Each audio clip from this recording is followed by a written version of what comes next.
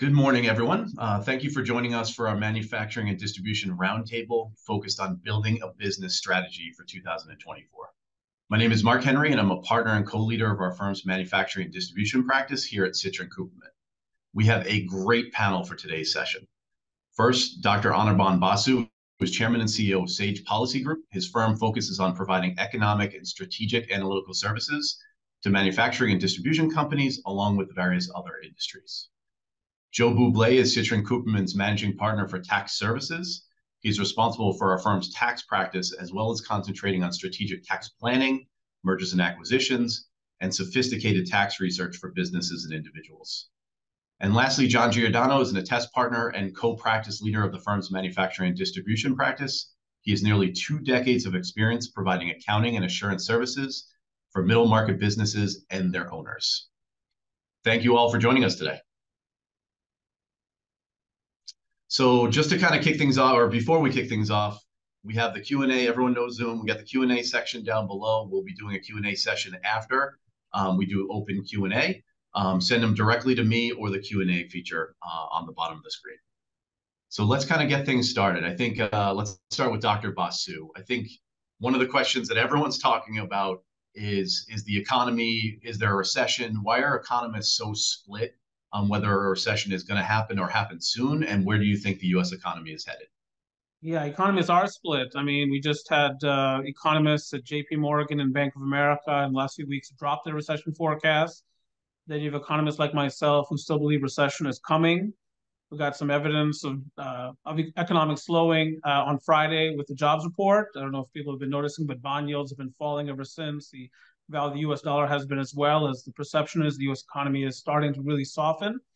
Uh, and we are different because we have different uh, theoretical underpinnings. So there are neo-Keynesians, which is what I call myself in graduate school because I want to be attractive to uh, the opposite sex. But I'm actually a monetarist, and I believe that ultimately it's monetary policy that determines economic outcomes. And um, and we've had this tightening monetary policy, and Milton Friedman, uh, the godfather of monetary theory, and uh, Anna Schwartz, the godmother, taught us that monetary policy operates with long and variable lags, which means, in my mind, that much of the impact of these higher interest rates is yet to fully permeate the economy. And that hit's about to come in a major way.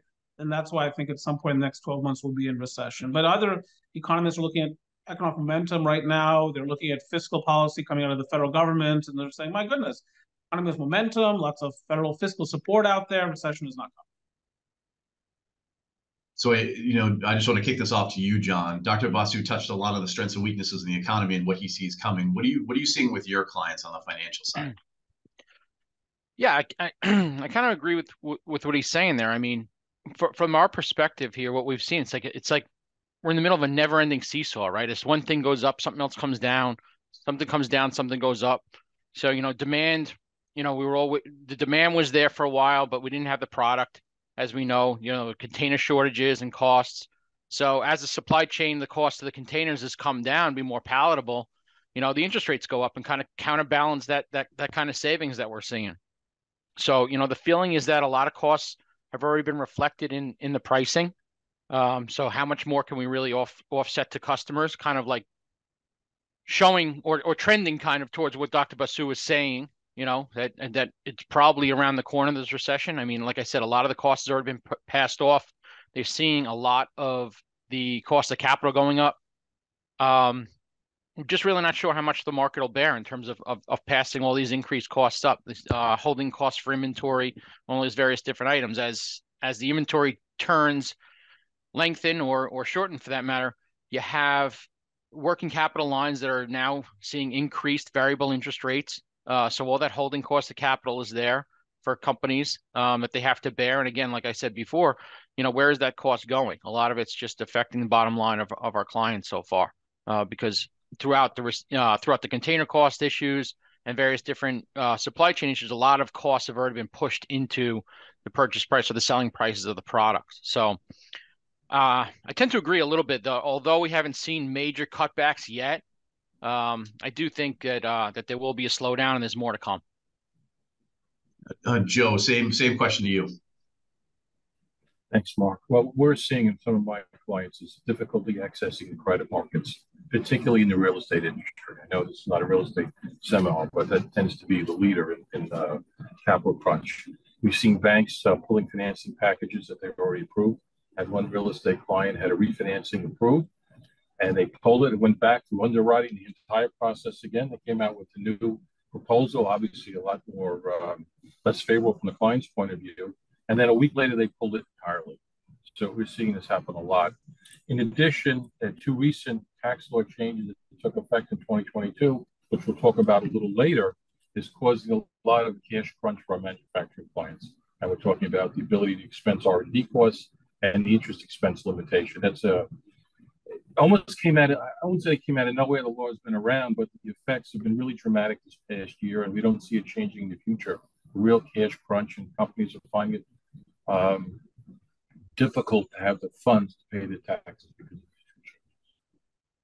well, I think I think you you both just touched on a huge issue, and the next question for Dr. Basu is there was a fallout from Silicon Valley um, earlier this year, and what we've seen on the, on the client side is that started to kind of um, banks are behaving a little bit differently and, and tightening up their credit policies.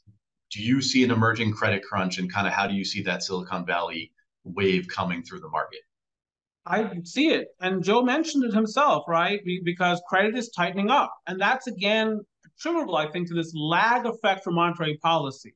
So Silicon Valley Bank falters on March 10th, Signature Bank on March 12th, then with issues at First Republic Bank, and then Credit Suisse and Deutsche Bank and PacWest and Western Alliance. So we had that. And analysts at the time, you might remember, Mark, were saying, well, this is idiosyncratic. These banks are different. And I think to a large extent that was right, that it did not lead notice to a full fledged credit crunch or anything like that at that time. Here we are in November, eight months later. However, several banks have been recently debt downgraded by the likes of S&P Global and also Moody's. Um, you know, there's a the regulators are more uh, are, are more likely to scrutinize aggressively bank balance sheets, and so when you put into account compliance costs, the risk uh, tolerance of bankers, and then also, of course, their cost of funding loans, which has gone way up, obviously, as money has become more expensive. You put it all together, the interest rate they need to charge to make a, a loan make sense to them is so high that in many cases, the deal doesn't make sense anymore. So you have an equilibrium interest rate that no longer works for many of the would-be borrowers or, or, or those who would be financed. And so that's why I think this economy is slowing. And yes, we are marching slowly to that credit crunch. And of course, it hits real estate first, but then it hits construction firms and manufacturers, and distributors secondarily. And I think some of that's about to hit the economy. And that's why I say recession's coming within the next 12 months. So just just expanding on that, where do you see interest rates over the next 12 months? What do you kind of see the pattern of increase, reduction? Where do you see that all going? You know, when I look at various interest rates, let's say the one-year U.S. Treasury, it's been stuck at 5.4% for weeks. Now, what does that mean? It means the Federal Reserve is not making any moves. The last two meetings they've paused, so they're not raising the short-term rates that they control. All the action has been those longer-term interest rates. Now, you might remember the 10-year U.S. Treasury, which we economists pay a lot of attention to, surged. The the interest rate, the yield on that surged. But recently, with evidence that the U.S. economy is weakening, that that bond yield has come back down. That's one of the reasons the U.S. equity markets have been surging higher themselves, which I think is the equity markets being complacent. So, long story short, I think over the next six months or so, the Federal Reserve doesn't do much. Interest rates basically stay where they are. Here's the problem they're already sufficiently high to suppress economic growth because inflation is still meaningfully above 2%. In fact, last inflation readings that were received, the consumer price index, producer price index, they were a little hot in terms of pricing. So inflation got back to 2%. We've got this red hot labor market. Wage growth is more than 5% by certain measures on a per annum basis. You put all that together, Mark, the, the Federal Reserve probably needs to slow uh, to, to reduce interest rates to get this economy back kick-started again. They can't do it because inflation is stubbornly high. What can I tell you? After about six months or so, mid-year next year, I think the Federal Reserve starts to cut. And by the latter stages of next year, you'll see meaningfully lower interest rates than we have today but there'll be a recession that will intervene between this period and that. So, so going back to John, because you're just touching on what Dr. Basu just said and what you said earlier about, um, you know, cut your clients and, and their banking relationships. Banks are the underpinning of, of working capital and our, our clients' ability to grow. So, what have you seen um, from your clients in terms of access to working capital, increases to line of credits? How, how has that gone for your clients? Yeah, again, I I have to echo the comments. I mean, although banks that you meet with might say that they're interested in looking at new deals or whatever, the proof isn't, you know, the proof the, the proof just isn't there.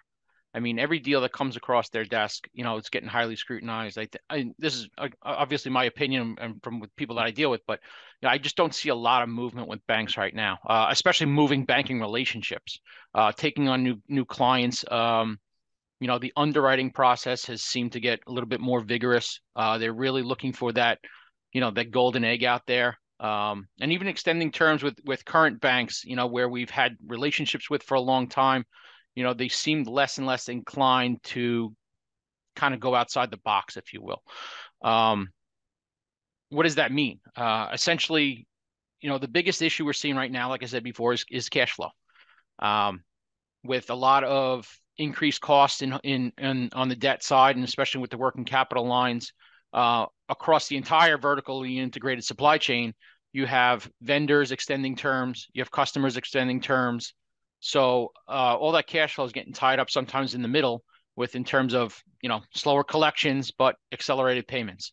Um, so it's it's it's challenging, and um, you know to just kind of tie in what Joe said before in terms of you know the other things we're seeing on the tax side. I mean, with the R and D credits getting pulled back a little bit, but more importantly, the interest limitations, um, the interest rate deduction limitations, is pretty crucial now because you're seeing a little bit of a decreased uh, demand in terms of the income. I, I believe 2014 is going to be a step back year for income uh, when compared to 2023. So the uh, the adjusted income on a tax return is going to be a little bit lower. So it's going to limit that that interest rate deduction, and then interest rate deduction is probably going to be more sizable this year obviously than it has in prior years because of where the rates are going. So, um, you know, what does that do? That again impacts cash flow to uh, to the taxpayer, uh, whether it be a, a, cash paying entity, but more importantly for us and our clients is pass through entities. So that cash has to be paid for tax. And you know, when you're having a little bit lower uh, interest rate deduction, uh, interest expense deduction, pardon me, um, more taxable income is going to flow through, and that cash has to come from somewhere. It's got to be pulled out of the business. Um, but like I said, cash flow is is key. Um, with with everybody extending their terms and and and all the very it's like a perfect storm various different things happening. And to go back to the question you initially asked what the banks are doing i still think they're sitting on the sidelines. I do. I, I don't think they're doing much in terms of um of coming outside the box. And and the underwriting is definitely getting more stringent from what i've seen. Despite the bankers that you talk to they're always looking for deals. Hey you know we want referrals we want referrals. Right now it has to be like the ultimate prime a client for them even to look at. Yeah, and, and just to put a, a, dot on that too, I think I think cash flow forecasting, as you said, is kind of the most important factor there. So any client should be doing that with all these moving pieces, um, and more so for the banks. I think that's what the banks are going to want to see. With, without a doubt, I mean, there's such a demand on on you know there's such a demand now on cash uh, in terms of like I said, keeping keeping up with the demand, making sure products coming in uh, you know, container costs are coming down. Supply chain is a little bit stretched, but uh, a little bit opening up a little bit. But again, that that cash has now got to go somewhere else. You know what I mean? It's it's not like it's it's automatically falling back to the bottom line. The seesaw I gave before, you know, this is coming down, but this is going up. So again, that cash flow has to be managed almost daily uh, in terms of where it's coming in. Um, the pullback of customer terms and then their payments uh, we're definitely seeing that. Um, good good payers are now you know extending a little bit more terms or asking for extended terms um, to help on their own cash flow side because you know the trickle down effect of it. So. So switching gears back, gears back to you, Dr. Basu, what is the biggest risk to the manufacturing distribution sector in 2024? Right. I mean, look, what are the issues here? I mean, it's cash, cash, cash. I mean, I'm an economist, but I'm also a small business owner. So I spend much of my time actually comparing my accounts receivable versus my accounts payable. So what's happening to me as a manufacturer, let's say, my wages are going higher, right? I'm having a tough time retaining and recruiting, you know, highly qualified personnel.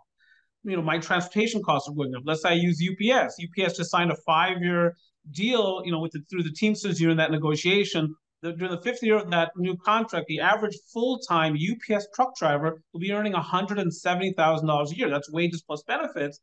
But it's it's forced people like myself to ask the question, how do I look in brown? You know, I mean, uh, and, and based on the app, spectacular.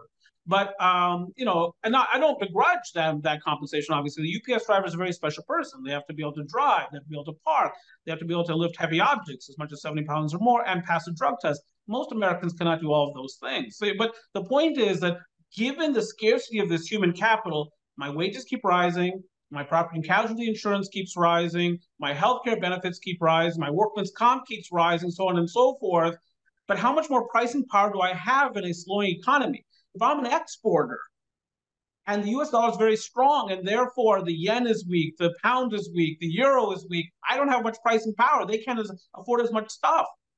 And I'm still competing with the Chinese and the Mexicans and so on and so forth. And so that the number one risk, long story short, and that was a long story, is cash flow. It's that a lot of manufacturers now facing tighter credit conditions and less free cash flow are going to run into some constraints and something has got to give. That's, I think, the big issue for 2024. Well, and, and sticking with that, because Joe, I know you're always monitoring tax policy for our firm and trying to find the best avenues to to reduce overall tax policy or or spend for our clients. Um, you've already talked about it. R and D has created some problems with capitalization then the interest expense limitations. All of these seem to be kind of stunting the growth of the sector. Do you see any relief coming in those areas or in the short term or long term? Well, the short answer is unfortunately no. You know, it's interesting that the um, Tax Cuts and Jobs Act, which passed at the end of uh, 2017, contained this R&D provision to stop what was historically the rules that you could expense R&D costs 100% in the years that it was incurred, which was great for the economy, encouraged growth and, and expansion. But in order to get that bill passed uh, under the budget scoring and have the deficits limited, they need they needed some revenue raisers. This was a revenue raiser, cutting back the ability to write off R&D costs immediately. Though no one really wanted to do it because they know of the you know the poor effects. So they had it effective in the tax year 2022, not right away, they had a delay. And the thinking was is bipartisan support will change the law before it ever comes into effect. And in fact, there still is bipartisan support, but they can't get their act together to get it in a proper bill to get it passed. And so now finally it came into effect in 2022. The IRS issued a notice on this in September of 2023, telling about the regulations they were writing. And they waited so long because they thought the law was going to change. so obviously it hasn't changed. Right now, there are four bills in Congress. They've been there for a while. All support to reset it back to the pre 2022 version. But look, it's really anyone's guess, and hopefully it does get done on a retroactive basis. But you know, you just really can't rely on it, unfortunately. So it remains to be seen. And one of those bills that I was referring to also has provision to change the interest expense limitation rules back to the 2021 version when instead of using taxable income as John was describing, you get to add back your depreciation and amortization expense, gives you some relief, so it's back to the EBITDA concept. Again, one bill that's in one bill doesn't look like it's going to pass. So I don't think there's much coming down the pike to change this legislatively. What we are doing in the firm, though, we are actively taking a look to see whether it's uh, there's an ability to recharacterize the interest expense and to capitalize it into fixed assets or capitalize it to inventory so that you get the deduction through either increased depreciation or increased cost of goods sold, but not as interest. So we're working on that, and hopefully uh, we'll have some some ideas to do. The other thing, which um, somebody mentioned on terms, we have some clients going to their suppliers asking for extended 90-day terms at a higher cost, so they have to borrow less. So again, they're recharacterizing the interest they would have paid to the bank into higher costs of the product, cost of goods sale. It's not interest. There's no limitation. So that's uh, that's what we're seeing on that side. Thank you, Joe. And um, as you were talking, a couple questions came in. I know we were reserving it for the end, but why don't we jump in because I think these are valuable. So uh, first one is which economies, countries do you see emerging as the world's next factory given the China plus one environment right now? And Dr. Basu, I'll, I'll start with you. Okay, sure, sure. Well, look, I mean, I don't think it's one replacement for China. How can you replace, uh, um, you know, China home to a quarter of global manufacturing? I mean, for decades, the mantra among manufacturers in much of the world, especially the advanced world, Europe and the United States, was, "Hey, I'm a, I'm a, I'm a profit maximizer. I'm an enterprise. To be a profit maximizer, I must be a cost minimizer, and to be a cost minimizer, I need to probably make it in China." or some similar situated society, but China gains the market share. economies of scale, the supply chain is thick, so on and so forth. They have an industrial workforce for the 21st century, all this infrastructure investment. It works for a long time pretty well, doesn't it? But all of a sudden, Chinese policymakers switch gears. They start to get more involved in Chinese economic activity. They start to get more involved in people's business. Uh, and all of a sudden, uh, people are worried about their intellectual property. People are worried about having to enter into joint venture partnerships, you know, involuntarily, just do business in China, so on and so forth. Then, of course, we have the 08, 09 global financial crisis. Then we have the 2020 COVID crisis. And all of a sudden, supply chains are not working so well. People want simpler logistics. So all of these things have fashioned this reshoring boom back to America. It's been in place for roughly 13 years, but it really accelerates with the pandemic. Now, the other thing about it is, you know, it, many people will say China is no longer investable. It's it's uninvestable. So if I'm going to produce in Asia now, it's Vietnam, Malaysia, uh, Indonesia, but maybe the biggest winners because they have economies of scale and similar population, India. And whether it's Apple or others, you've heard these high profile stories. The Indians are getting better at quality control, lots of engineers in that population, software and otherwise. And so it seems to me India stands out as being the most likely to gobble up a lot of global manufacturing market share. And then the other the other player I think is the United States of America. Um, $250 billion computer chip manufacturing plants are developed in this country. So look at Columbus, Ohio, it's booming. Thank you, Intel, but it's more than Intel, of course, but you know, Silicon Valley the Midwest you know, what's happening in Chandler, Arizona, Sherman, Texas, $40 billion at least in battery manufacturing plants are development in this country. That's Georgia, Tennessee, Kentucky, Michigan. So mega projects, manufacturing coming back, supply chains thickening. So between East Asia, South Asia, meaning India, and the United States, I think that, and the Mexico, Mexico as well. I think you're going to see a lot of the reshoring victory there, and a lot of uh, supply chain uh, disappearing from China, and of course that process already begun. John, do you have a follow-up? Yeah, I just had a, a comment for Dr. Basu. It's, it's interesting. You know, I've seen a lot more nearshoring within reshoring. You know, uh, Mexico, I know, has a very favorable trade agreement. So I've seen a lot of work move down there. But on your comment of reshoring, you know, some of the biggest things that we've seen uh, or the biggest hurdles have been, you know, obviously we talked about the labor force, the skilled labor, whether or not it's here uh, to take on reshoring or now with everything going on with the cost of capital. So do you still see do you see all that slowing uh, reshoring, or do you still think it's going to have some momentum? Right. Curious. So, it, well, it's clearly it slows. It's constrained, right? We don't have the industrial workforce of the 21st century. You might have heard the announcement recently of TSMC, the Taiwan Semiconductor Manufacturing Corporation, which slowed its investment in Arizona. Why? Because they could not find enough workers to outfit the plant. So, yes, that is a constraint. You know, and, and I'll give you an example. In Washington, D.C. recently, and this is not a critique, this is not a criticism at all, no, no politics here, but there was a prominent official in Washington, D.C. who said, We have a crisis in our nation's high schools. We don't have enough college counselors. They didn't say career counselors, they said college counselors. And we've got to really change that attitude as a people. We've got to put as much prestige on that blue collar production workforce as we do on those jobs that might require, may not, maybe not require a college degree you know, but this is ridiculous because it's you know standing in the way from us creating more market share in global manufacturing and also a larger middle class. This kind of an anachronistic attitude uh, towards production work, towards blue collar work. It's ridiculous. I mean, as you know, many blue collar workers make much more than many white collar workers, and yet the, the message hasn't gotten out there, including the young people. So, in any case, yes, it's a constraint, but look, what we have now in America, final point on this, industrial policymaking. So the federal government in particular is putting a lot of money picking winners.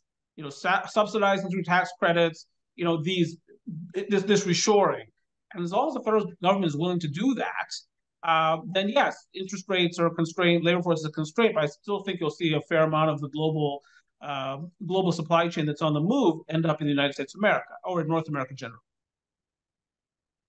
Well, and, and another question that just came in right on topic is U.S. should do more manufacturing activities within the country rather than relying on other countries. What's your take on this? And I want to go to Joe. Um, you know, one one bill that came out last year was the Chips and Science Act, which was all promoting semiconductors being created and manufactured in the U.S. Do you see any other policies down the pike that could incent more manufacturing here? And then, and Dr. Basu, I'd like your thoughts after. Well, I, I haven't seen any really. Um, but you know, one of the things I was just uh, thinking about Dr. Basu's point. I agree with him. The idea that we're not training for blue collar workers who are and, and some of the blue collar are they're highly skilled. And so I'm thinking maybe from a policy point of view, if we had tax incentives for companies to hire children in high school, seniors and juniors, and have an apprenticeship program and not go to college. It's not for everybody. And you get a great job and you have a skill that's hugely marketable. That may be something we should be looking into to build back our our infrastructure base, which I think is uh, gone away.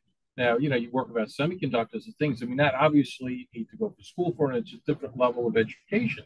But I think we have to get back to basics, and you just see what what this country did in World War II, the production, which is why we and our allies won the war. We don't have that, but we have to get back to that, in my view. Dr. Basu, any any thoughts? And the original question was, how do we get more manufacturing in the U.S. Um, through policy? Is it is it work programs? What are your thoughts? Yeah, I think it's first and foremost educational policy, by the way. Because why? What's the mantra right now in U.S. public education? It's teach the test, college preparedness. But every child is different they have different proclivities, different propensities. So somewhere out there right now in some American college, there's a kid in French literature class uh, being forced to read Moliere's Tartuffe, which is his greatest play. Don't get me wrong, fantastic play. But that person is bored out of their skull. But man, they'd be an amazing welder. They just don't know it because they're not exposed to that, or carpenter, you know, or pipe fitter, or truck driver, or mechanic, you know, or millwright, or whatever it happens to be. And uh, so what we need to, I think, we need to go back to having a, a two, a, a, a, bifurcated high school graduation structure where, yes, if you want to pick the college preparedness track and that's what your, you know, your future is, two year or four year college, fine. I mean, I went to college, a lot of us did. So what? Um, but then if you have a different track where you want to be prepared for a specific occupational category, whether it's in construction, manufacturing, whatever happens to be, logistics, then that option is available to you too. And and, and we have to hold both of those pathways to graduation with equal prestige. We have to accord them equal prestige. Parents have to accord them equal prestige. Uh, uh you know, school administrators have to. Uh, you know, CEOs of school systems have to. Then I think we can create the industrial workforce for the 21st century, and then I think we can give the Chinese and everybody else a real run for their money. But until we do that, we're very much constrained. Now, Joe, this this question's for you. You know, even though we talked about the headwinds in the industry, a lot of our clients have seen tremendous growth through the pandemic, and their balance sheets are supported very well between PPP, employee retention credits. Um, this has created new business models through e-commerce, expansion into new states, and a lot of clients even building new warehouses. What should what should clients be considering as they enter these new states, build a new warehouse, and expand their platforms? Well, as clients enter into new states in a variety of ways, as you mentioned, Mark, they need to consider what will be constituted as doing business in that state.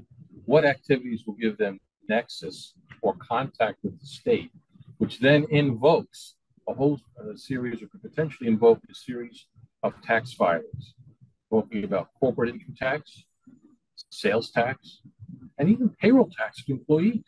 We've spent so much time for the last, what, three and a half years with companies having people work remotely in a state because they're not in the office, they're an office worker, work from home, that's in another state. That company has no business in that state, no contact other than the employee that's working there. You need to see when that will involve filing obligations. So it's really understanding what specifically you're doing in the state or will be doing in the state ahead of time. We do some advanced research and planning and what that means to the company and its filing obligations.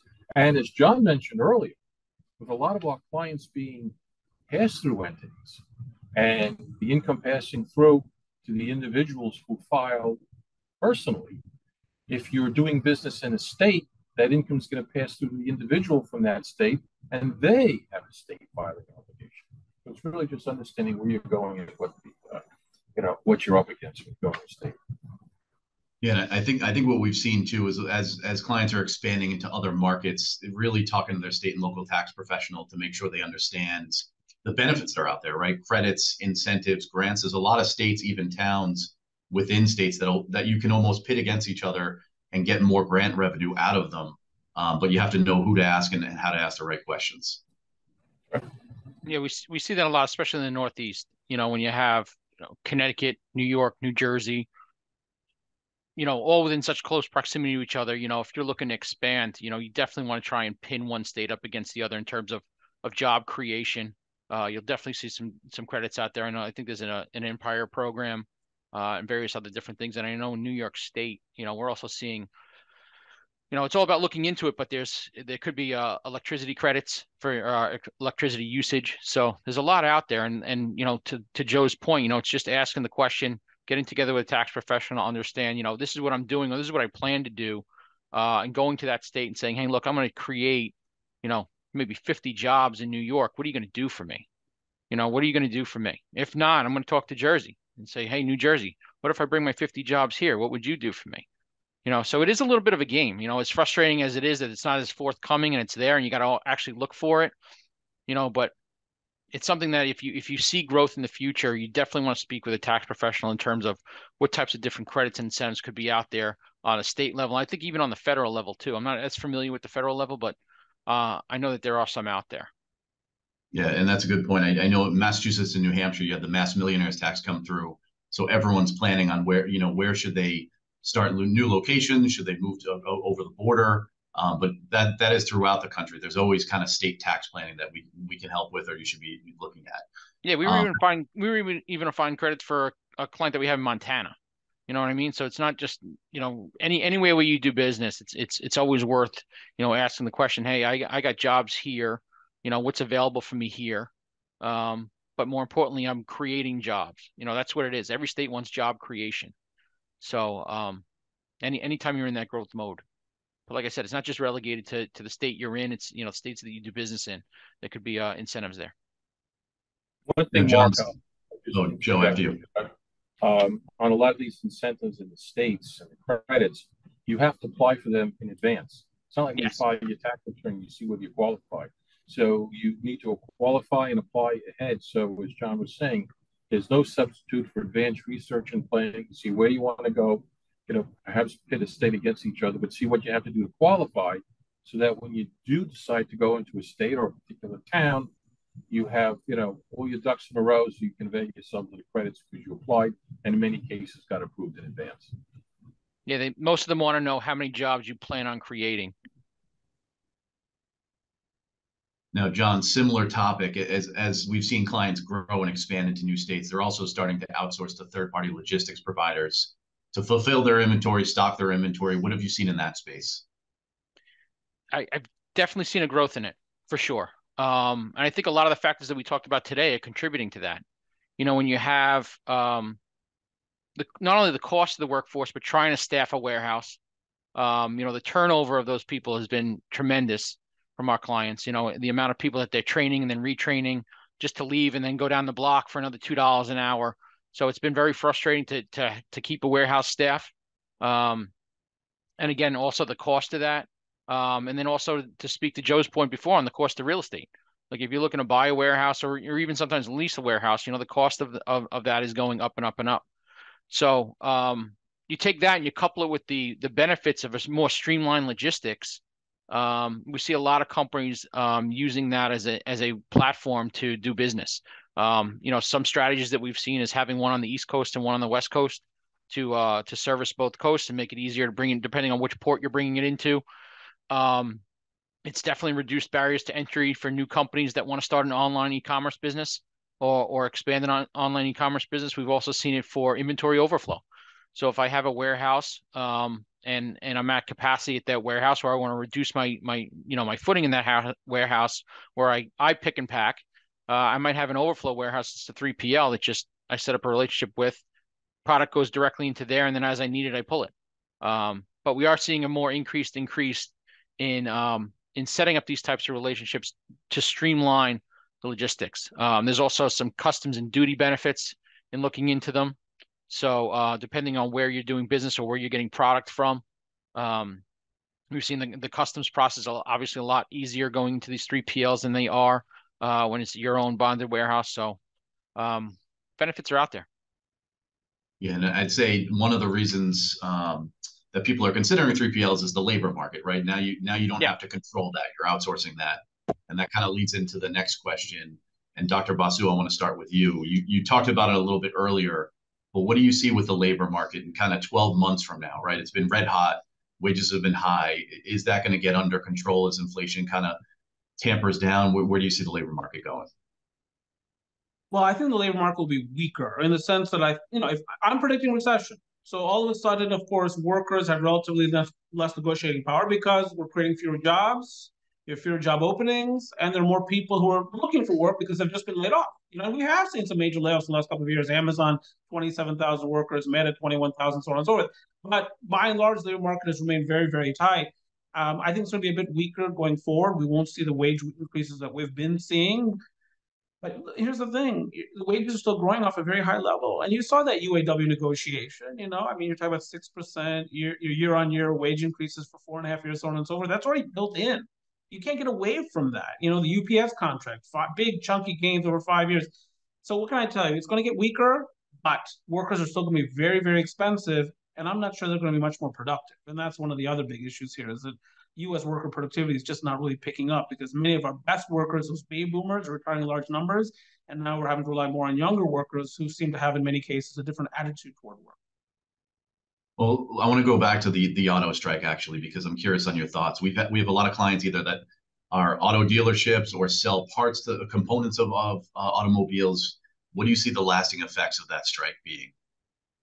Yeah, it's not clear. I mean, a couple of things. First of all, you have, I think, diminished flexibility among the big three in terms of making that transition to electric vehicles. And maybe that's okay because electric vehicles have turned out to be less popular than many of the main manufacturers have expected. And, and, you know, folks at Mercedes and elsewhere have pointed this out that we're having to work really hard to move these electric vehicles, having to offer steep discounts. And of course, Tesla is discounting their prices serially. And so you know that just makes the market that much more competitive and more difficult to make money off of electric vehicles. And there, in America, at least, there seems to be you know this very significant stickiness towards old you know fashioned gasoline powered vehicles. So in any case, that's one thing. Second thing is you know these companies are going to face higher wages for years, right? Workers. It was not that workers were inexpensive in America before this UAW set of agreements with the big three, but they're going to become even more expensive. You know, more benefits, so on and so forth. And so at the end of the day, I think that you have a U.S. auto industry that might be slightly less competitive um, uh, after this negotiation than it was before the negotiation. Maybe that's not surprising, but it's an issue. A lot of our clients are seeing kind of a crunch in the finance and accounting department, right, at, at each of one of their companies. What are you seeing from your clients, and, and how are how are they getting access? Right, the, I think the the rates they're paying a CFO or controller are much higher than they're used to, but also the, the supply of those folks are, are just not out there. You know, how are you helping your clients or what are you seeing? Yeah, um, it definitely is a crunch. I, I think, you know, not to make this all about accounting, but going back to, you know, the AICPA change requiring the five year college um, to be a CPA, I, I think we've definitely seen a decrease in people entering the, the profession.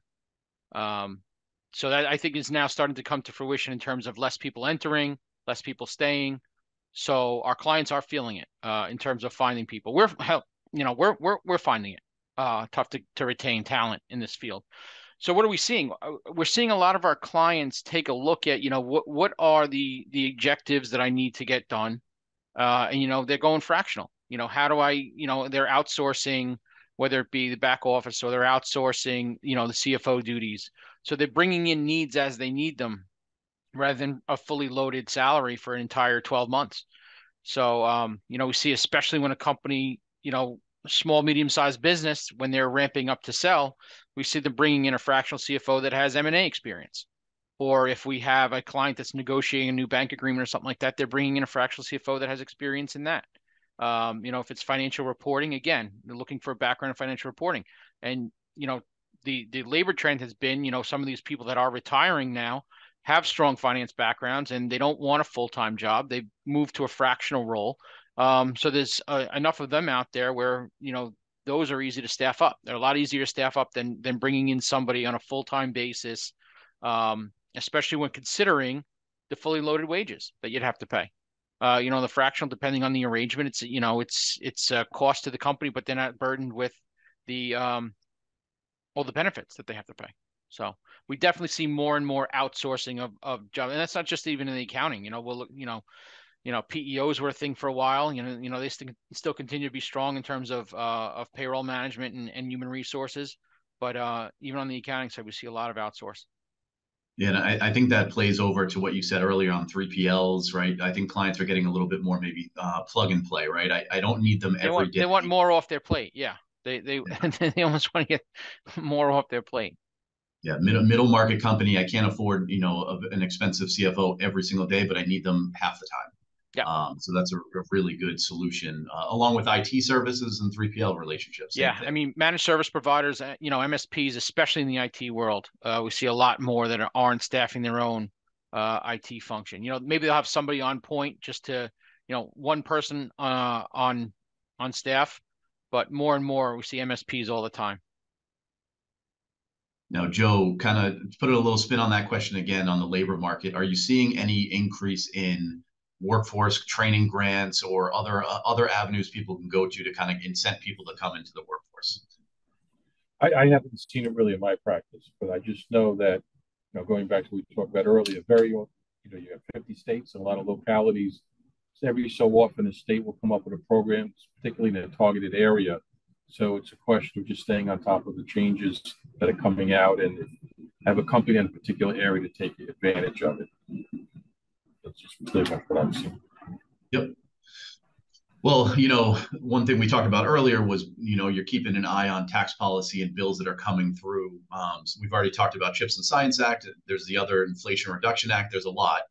Um, are there any specific bills that you see that manufacturing and distribution companies should look at because they have more benefits to the industry?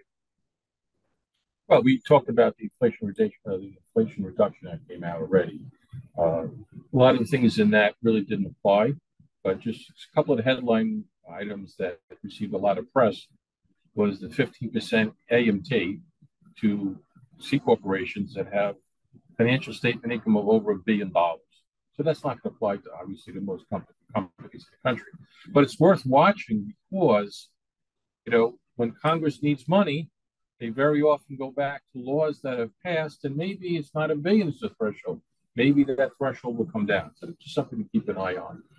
And another thing which also received a lot of press was this global AMT, worldwide global AMT of 15%. The United States has said it will not adopt that. So one of the things for companies that have foreign operations, you've got to keep an eye on what's going on in the countries where you're operating to see how that com- country is going to impose the corporate 15% AMT. I mean, it's nice for someone to agree to a trade agreement, but they have to change the law in that particular country. And then the second part is how is the U.S. tax regime going to interface with that corporate AMT abroad when we're not in it at all? So those are a couple of things you got to watch out for. For companies that are publicly traded, and there are a couple of exceptions, but the Inflation Reduction or Inflation Reduction Act also imposed a one percent excise tax on the repurchase of corporate stock. Again, that's by publicly traded companies. So that was to dampen companies buying back their stock from the public instead of using the money, retaining it in the company to expand and reinvest in their businesses. So the one thing, though, an unfortunate provision there from the taxpayer's point of view is that excess business loss limitation uh, that we were talking about earlier. The uh, Inflation Reduction Act extended that for non-corporate taxpayers to December 31st, 2028. That was one of the myriad of provisions that was supposed to sunset at the end of 2025. This one did. And also in that act, there was a whole series of various personal and business energy credits. So that's something, if you're looking to expand the facility or anything with solar, you've got to take a look at that. There's, there's, a lot there. With regard to the Secure Act, which was also uh, passed, that was more on pension plan oriented things, a whole laundry list one of the main things is that companies really want to talk to your pension plan advisors is that they have a mandatory uh, participation increase. They changed the law to get more people to apply uh, to uh, participate in the plan, and that's effective for years beginning after December 31st, 2024. So you have some time, but again, you got to take a look at it and see what um, um, uh, employees are now going to be covered, mandatory cover that weren't before, they also enhance the ability for part-time people to uh, participate in a 401k plan, which I think is great. You know, we're talking about you don't have enough workers, so let's make the work life and the benefits available to a part time person enhanced, which I think that was a good change. In addition, on the individual side, they made a number of series of changes to the RMD date. That's your required minimum distribution date when you have to take money out of 401k plans, retirement plans, etc. So they've pushed that back, which is a good thing. You can keep the money earning uh, income tax free for a little bit longer. They've enhanced the penalty relief. A lot of people miss that, you know, and the penalties are onerous. They've scaled that back, and they've also enhanced the ability for older people to make more uh, generous catch-up contributions in 401k plans. So again, a laundry list in there, but those are really the main things at this point. Looking at the time, I think we have we have time for one last question, and, and this kind of goes to the lifeblood of any manufacturer distributor is inventory management. And Joe, I want to start with you. I know you have some tax planning ideas that that people could utilize uh, coming towards year end to kind of manage their inventory and maybe manage their tax balance. Sure just a couple of things. One thing that one of the things that we talk to clients a lot about, but never really gets implemented, is using LIFO inventory. It's last in, first out. So in an inflationary time, when people are replacing the inventory and the cost of inventory, inventory is going up and up, using LIFO will allow you to take the last inventory you bought at the highest cost and use that in your cost of goods sold so your income is lower and you pay less taxes as opposed to older inventory. And in, as I said, with rampant inflation, you know, with the price of your inventory going up, you could save a lot of tax dollars. Now, I'm oversimplifying. It's very complicated, lot of things you have to do. But one of the most important things is that you then have to use LIFO inventory method on your financial statement.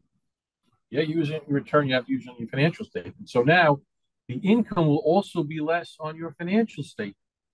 So if you're interested in uh, the public markets, your, in, your income is less, particularly if you have loan covenants with the bank and they base it off your audited financial statement, you may run into problems. So that's why I guess it's talked about a lot, not really implemented. In addition, in times where business may be turning down and you're selling off your inventory, so put aside the value, you actually have less physical inventory. You will be eating in to those layers that we created 10, 15 years ago. And so now your profits will be incredibly large because you're paying back all that deferral. So all these complications. So, but anyway, just something to keep in mind. The other thing we also do in terms of inventory planning is inventory write-downs. Now, for financial statement purposes, and, and John will correct me if I'm wrong, you there's a concept of an inventory reserve. If you have inventory, you don't think it's all saleable, some of it's old, whatever, you have an inventory reserve which affects your profit on your financial statement. You don't have a concept of an inventory reserve for tax purposes. However, what you do have, if you have goods in your inventory that can't be sold in a normal way or at the usual prices because they're obsolete, changes in style, or damage, imperfections, broken lots, etc., etc. If you identify those goods and segregate them, and you can value them at the current at the selling price less a reasonable cost of disposition. Although one of the requirements is you actually have to offer those goods for sale within 30 days of segregating. But that's a way to kind of get an inventory reserve because you can write it down to the net realizable value. And that takes planning and really analyzing your inventory. You can't do it broad brush. It requires going through the inventory floor and seeing what you have, segregating, and applying the rules. So that's just a couple ideas. Yeah, and, and Joe, I think you know, obviously, saving tax dollars is really important to our clients. I think you nailed it. Is we also have to be aware of financial reporting covenants, banking covenants, and uh, even LIFO, for example, is very complicated. Very complicated to also explain. Um, so that is, if you are uh, thinking of switching over, it's something you want to have a conversation with your bank to make sure they understand as well. Um, so, so looking at the time, I think we got through all the questions from the audience. Um, Want to thank the panelists. You guys were fantastic. Really appreciate your time and and thank you everyone for joining us.